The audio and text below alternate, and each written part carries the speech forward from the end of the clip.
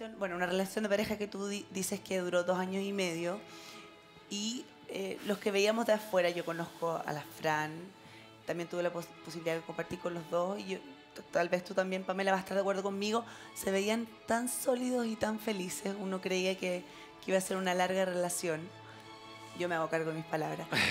Pero, mm, eh, ¿por dónde pasa el quiebre? ¿Qué fue lo que pasa que, que se ven tan sólidos y en un momento nos enteramos por la prensa que no seguían juntos? Por la prensa.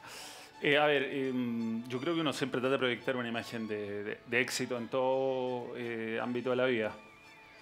Y las cosas que nos llevaron a estar juntos primero y las cosas que nos llevaron a separarnos después son cosas que quedan entre yo y ella. No, no las voy a comentar Por públicamente. Igual hay un montón de cosas que se hacen públicas porque yo desde que la conocí entendí el juego en que me estaba metiendo. Entonces ¿Por- por lo respeté mucho eso y Pero ¿a qué te refieres con el juego en el que me que estaba a, a metiendo? generar morbo, que siempre nos iban a preguntar, que en el momento que supiera que estuviéramos pololeando iban a ir a buscarnos y cuando termináramos iba a pasar lo que está pasando ahora. Y eso fue difícil para ti, Manuel, porque tú vienes de, tú trabajas en televisión, pero vienes de un ámbito distinto, que es el periodismo deportivo.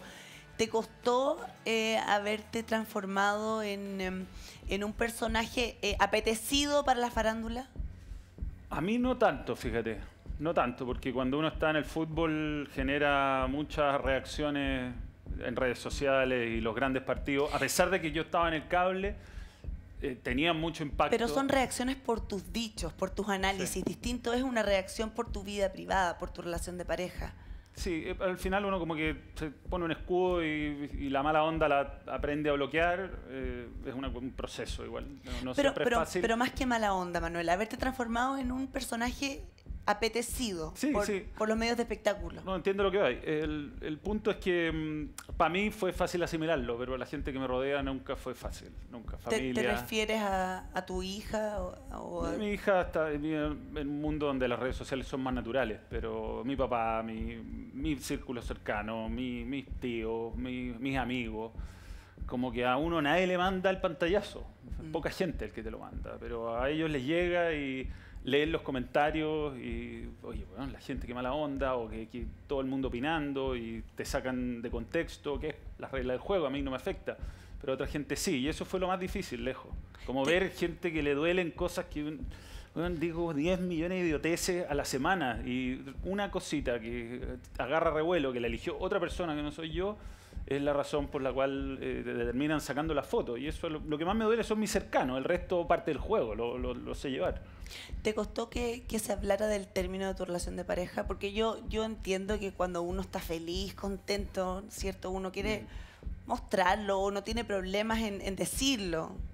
Pero cuando uno termina una relación de pareja y una relación de pareja importante en la que vivieron juntos y todo, uno quisiera restarse, quisiera esconderse, quisiera vivir el dolor en la intimidad. ¿Te costó eso? ¿Te costó que se especulara? ¿Te costó que te preguntaran? Lo mismo que estoy haciendo yo, ¿te cuesta ahora? Sí, no, me pone eh, cómodo.